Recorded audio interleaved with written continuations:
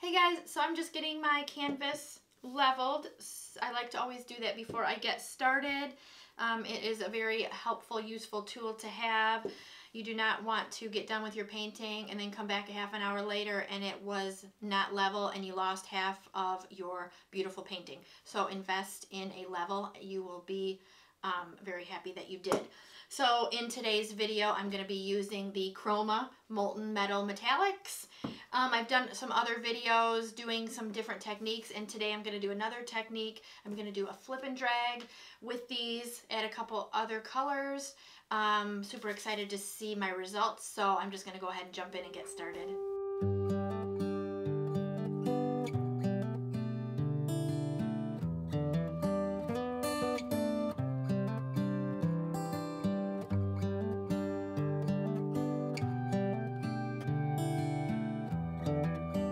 So today I am working on an 8 by 16 canvas and I've got my colors all right here. I am doing a little different flip and drag. Well, it's a normal flip and drag, but I'm using a different cup. I've never used a beaker before, so I'm gonna see what happens.